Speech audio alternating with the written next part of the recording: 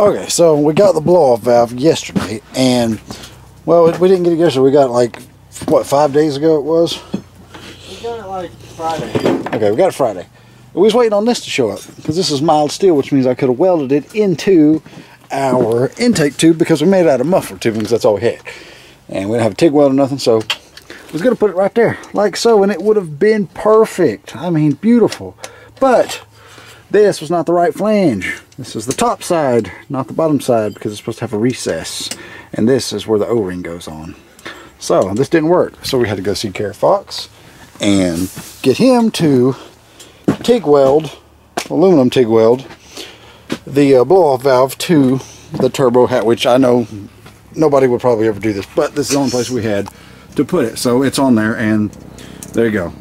So me and Colton Bertha learned, learned how to TIG weld yesterday TIG weld aluminum and Kerry TIG welded that for us. TIG welded on, good to go. We're gonna test it. So mm -hmm. that's the plan. And I also figured out how to plumb the boost controller. So I will show you how to do the boost controller also. I just gotta plumb this in. All right, before we hook the boost controller up, we're gonna test the uh, blow-off valve. And right here at the, at the in gear with idle, it's kind of opening and closing. It's kind of fluctuating there. We'll see what it does.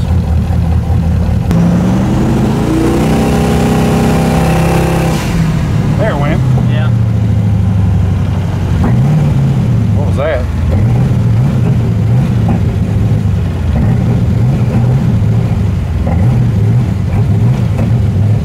Of course it's opening and closing causing fluctuations like in the uh, vacuum signal. So which means it probably needs a stiffer spring put in it. Did a quick spring change. so I'm gonna see what this spring does.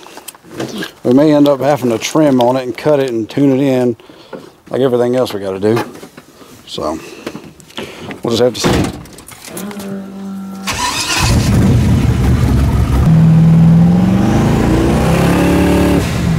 Yep, there it went. Opened right up.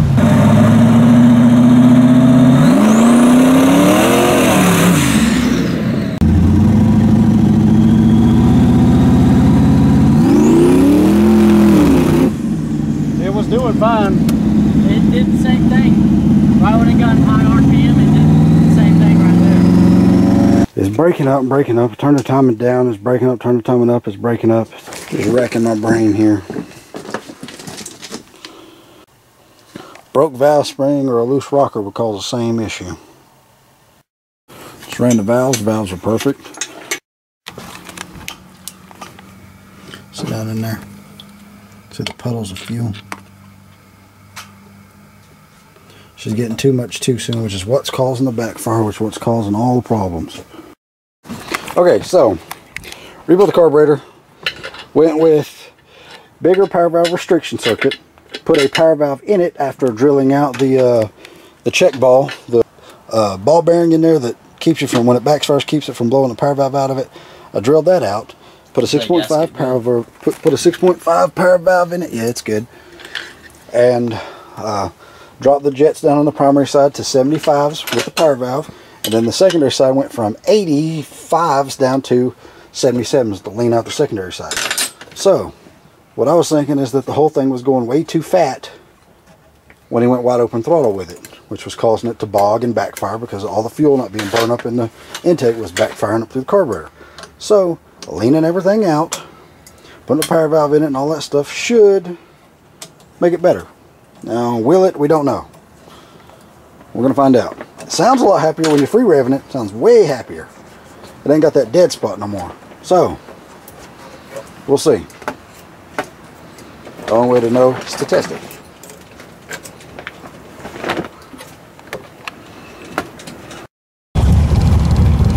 Alright, well, rebuilt carburetor, we're to try this, see what it does.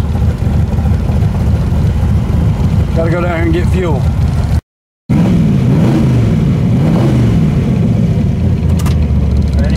Yeah.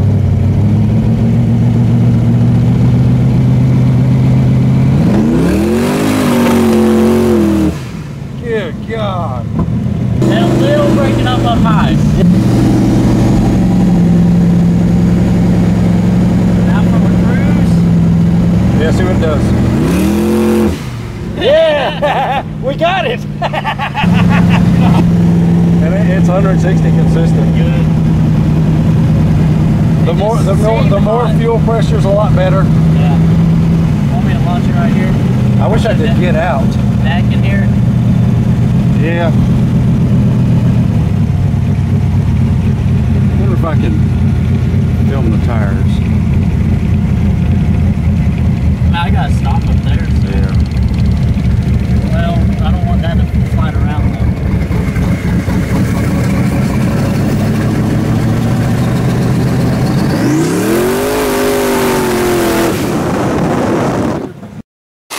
Well, I rejetted the carburetor, reset the timing, uh, bumped the fuel pressure up, and so far it's doing amazing.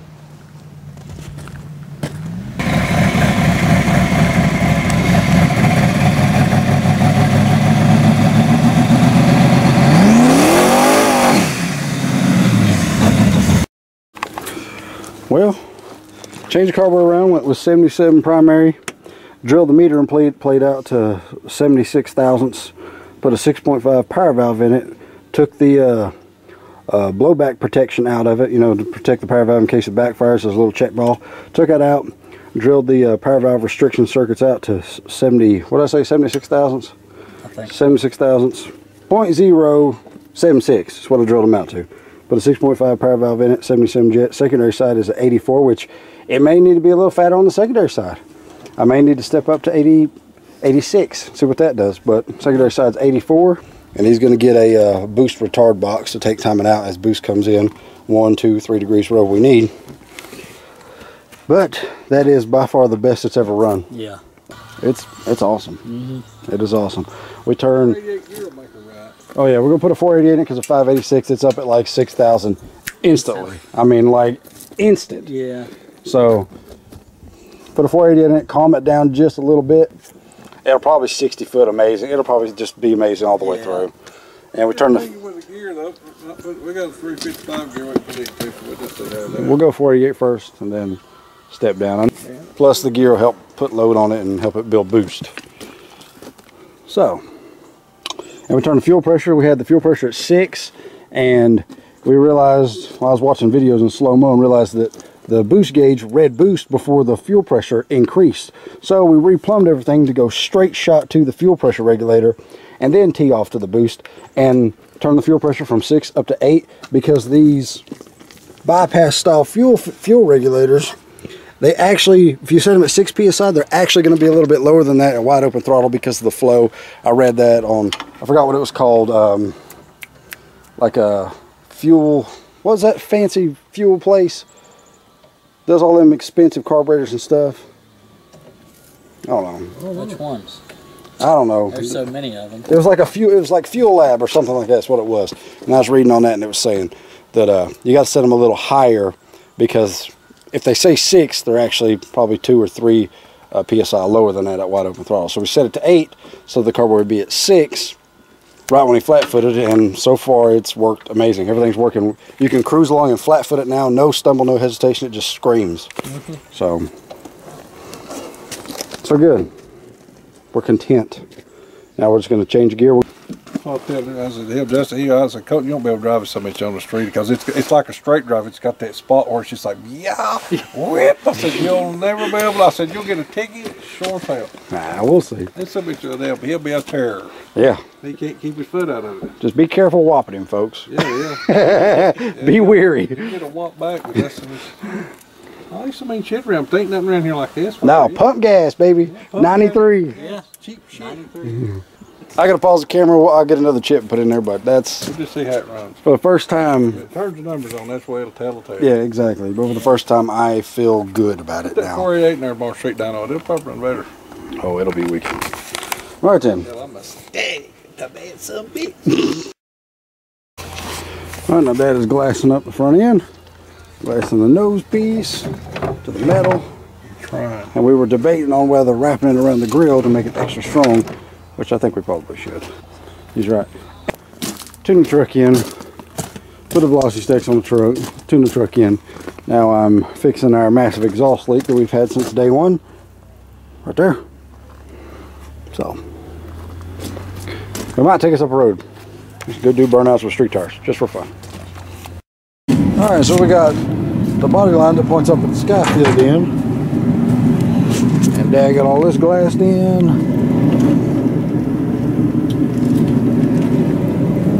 And this side and all this is gonna need some serious sanding. Yeah, it's over here, done the cloth, but over here we run out of cloth, so I had some mat, done an old shit mat. And I'll put that over there, so I'll put cloth over the walls. Yeah, that mat sucks. It's a pain in the ass because it's like cat fur. It fucking shit get all over you. We'll sand all that down and get some Bondo and body filler and fill it in. Just that just covers the big spots. We'll get rid of the body line. We might get rid of it all the way down to S10. I don't know. Just make it smooth. I've Never seen an S10 without the body line. Be interesting to see. One of a kind. Look at all that. Then we did a kill switch back here. The way to do that so it works is you separate the ground. Comes out, ground goes in, comes back out, then grounds to the frame. If it ain't ground, you get no voltage. So you separate the ground, it kills all the ignition and everything. And Colton builds battery hold down. Yep. Which is so complicated. Mm -hmm. Yeah, so anyway, day St. Patrick's Day, I believe. If you think Betty Day, better have your green on somebody pinch you. I ain't got green nothing. Oh, you gonna get sick. You'll be sick. This shit won't even start. Yeah, well, he's having to hook a battery up and everything else. I just want to go up under and dampen my damn show. You glory hog, that's why. He glory hogging my show in. But St. Patrick's Day, and the sun's out it's about 60 degrees. It's nice out there. It's nice. First nice day we've had in a long time. I first take a Sandberg kick at the ass one time and it Yeah. didn't run this whole damn winter much. Except for the tour run. Yeah, that's about it. Got it dirty as shit on tour. I need to wash it. And just play with it. It's dirty. We got the breathers on on the velocity stacks. Yeah, Hopefully they don't choke too much. I put the velocity stacks back on that big old hill and I just don't like that thing. It's a pain in the ass to take on all. It really You is. can't tell if the carburetor's flooding or they loading up or what's going on. I just don't like it. I'm a velocity stack man. I hear it. There he is. 355 with 11.81 to 1 compression static. And here comes twin turbo S10. And a 411 gear. Yeah. It's hit 586 with slick. Yeah. I'm at a traction disadvantage right out of a damn hole. And wheel hop central. Yeah, I got a wheel hop. His goes straight. This some bitch here, I might hit him in the door. See how quiet that thing is. Oh, I know. Civilized Sneaky, yeah.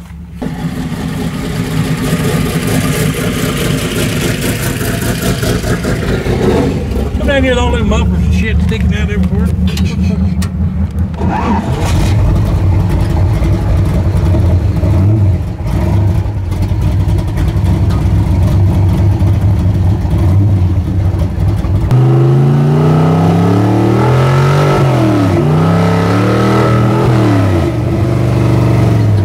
See? Do what?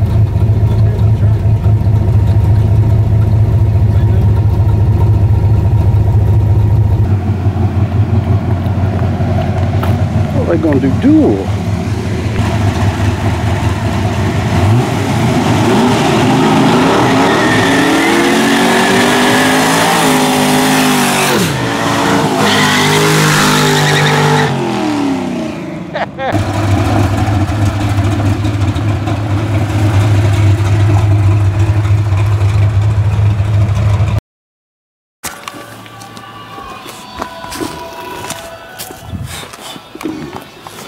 Okay, so about two weeks later, after everybody's over the flu, Except for me, I never got Yeah. Sick people, sick people, we were sick people. yeah, after Dad shaved his beard off and has a mustache now, Officer Wilson over here, Feel free to make jokes. Any kind of jokes you got, because it's about to grow back though. I'm growing it back, but I've been called all kinds of stuff. Tom Selleck, porn star, Burt Reynolds. Burt Reynolds, He's still got a little bit of cough. Anything you can think of, but I ain't gonna cut it off tomorrow. I'll put everybody in a damn whirlwind. It's funny. So funny. Not sick, though. You, when you're sick, don't cut your shit, because I cut it crooked as hell and totally fucked it up, so I had to cut it. Um, but so we come out here and we cut the we cut the front end back separated because it was all molded in one piece and we did that so we'd have a nice narrow gap all the way around. So now we're sanding and filling and smoothing. That's what's happening here. What Colton bought an MSD boost timing controller so that we can pull retard we can retard the timing as the boost comes in. You can go from one, two to three degrees depending on the pound of boost. So, and you can adjust it to where it comes in. So you can start pulling timing at three pounds or five pounds or wherever you want. So we're fixing to wire that in here. And that way he can run his timing where it's at, locked out. So it's got plenty of bottom end and then as boost comes in, it pulls timing out and no more detonation. Nice unit. Yeah, it's a super nice unit. Expensive unit, but nice. Later on, We might just make one out of aluminum. yeah, we need to. but not that important right now. But here's the boost timing master thing. Brand new in the box. This is not used junk like we're used to. He bought this new. Oh, and there's a on-off switch we put in. See right there? Boost timing master. It's all your doodads and your little dial. You switch it to take the timing out. Got a port for your boost to run into. See right there? It's got a dial that tells you at what point you want it to start taking time out. Right now it's set at two. It'll probably start taking time at about three. Three pound of boost. So, fixing to wire it in. Come with the instructions and everything. So. Whenever Colton gets out of there, I'll climb in and start wiring.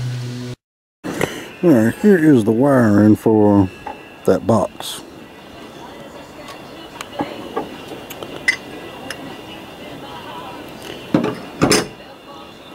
I got her wired in there everything tucked up looking halfway decent. I need to pull these rest of the wires up. Like that, but I gotta make a hole for them. But it's all wired in. Just like it says to wire right there. Because it's a mag pickup distributor.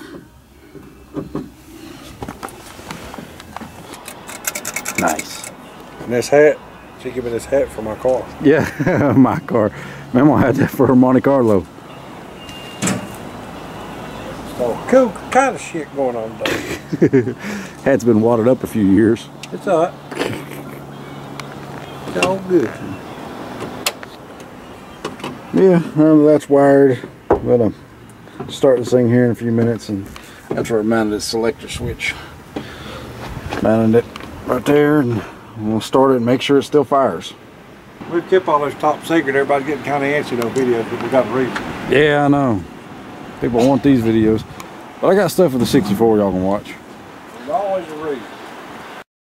All right, with this thing, if you're running a uh, points or something like that, you don't have to cut this, but with a mag pickup, like all MSD distributors are, oh well, not all of them, but most of them, you got to cut that. And I didn't cut it, so it didn't spark.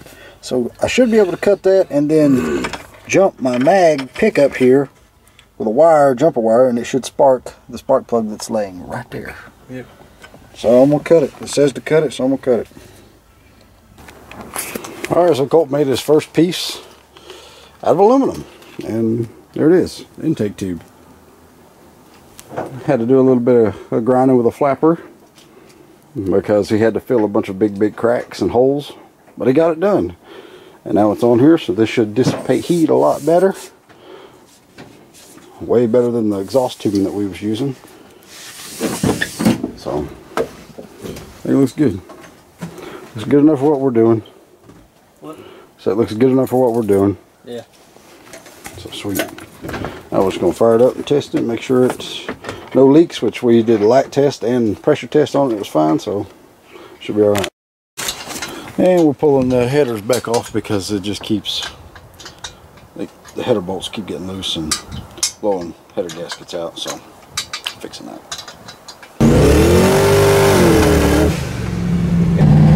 But it's so weird. Right out of the hole, this thing is in terror. And then goes into second, he's shifting about six. And that's where it breaks up. It ain't the box, it ain't the timing. So, I think carburetor. Flare dim, we got hard line now instead of this little soft rubber stuff that could have been collapsing. We're gonna see if this makes a difference. If it cleans it up up high. Yeah. Fine tuning. What you said. Exactly. Exactly. We just out here having a damn good time. I know. Sun's Sun's, out, out, 70 warm. degrees, living it up. Yeah. Made these. This is, what size line was this? This is quarter, wasn't it? That quarter inch coat. Quarter copper. Now, I don't know if it's quarter. Is it quarter ID? I think so. I don't know. Quarter ID, when you cut it and you deburr it, it fits super, super tight. You got to kind of massage it on and push it down. It was me. Yeah, exactly. But we're going to test this and see what All right, so we're trying it with the vent tube extensions. It's hard line now, not tiny little rubber uh, line. Turn the timing box all the way back down to zero so it's got full advance. And we're gonna see what it does, see if it breaks up up high still.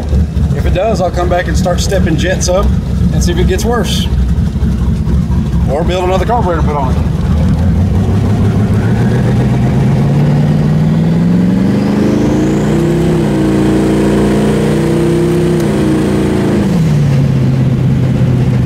Well, it sounds cleaner. Yeah. It didn't have that little crackle like it usually does. Why was it full throttle? Well, I know, but I mean, like usually when you go to take off, it has a little crackle.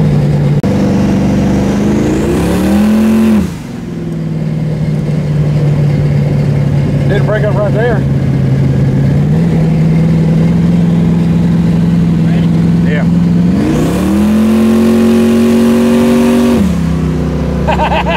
no breakup. True test will be up here. Yeah, Going into second. yeah. Get out of the road, groundhog. Look at him, he's like, yo, man, let me hit it one time.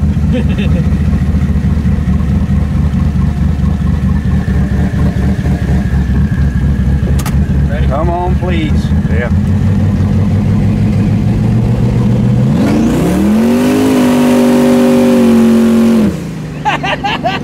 Yes, dude, that got it. yes, yes, yes, yes. That's legitimate excitement for me. Because I have tuned and tuned and tuned on this freaking thing.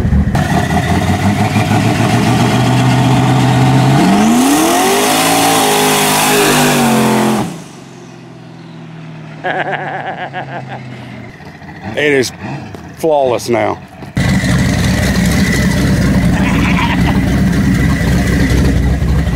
Dude, this thing freaking flies. Oh, I know. Why do you put a 488 in it? Yes. That's with no time retard or nothing. Yeah.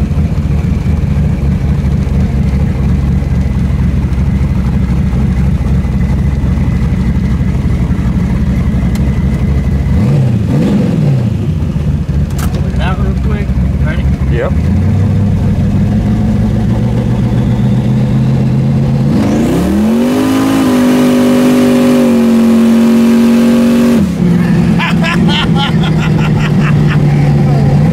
we put a 488 in this thing, it'll run sixes, guarantee it.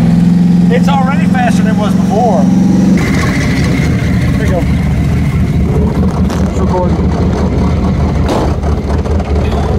No breakup anywhere. It sounded good right up going.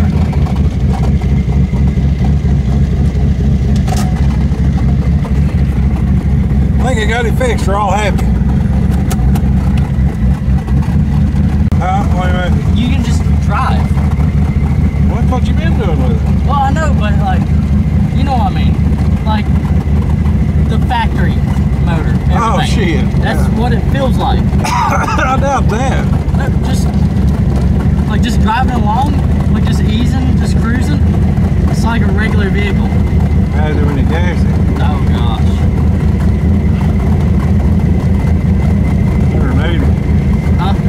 180? Yeah, that's about where it stays. Oh, no? Yeah, between 170 and 180.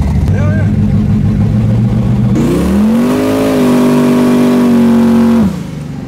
God damn, this little motherfucker get it. Hell yeah. That motherfucker's gonna be getting. Yeah. Snaps right there though. Ah, pow! Hell yeah. Like it breaks loose and bursts and grabs in the second and it just blows the tires off and starts walking. Yeah. Let's somebody don't fuck around now. it run good last time I rode it. It's stronger now. That's a bitch will get it. They can just putter around on plain old fuel. Gosh, I'm so happy. Fast shit. So Dad liked the ride along. It's still got the 586 in it. We put a 488 in it. It ought to, it ought to scream.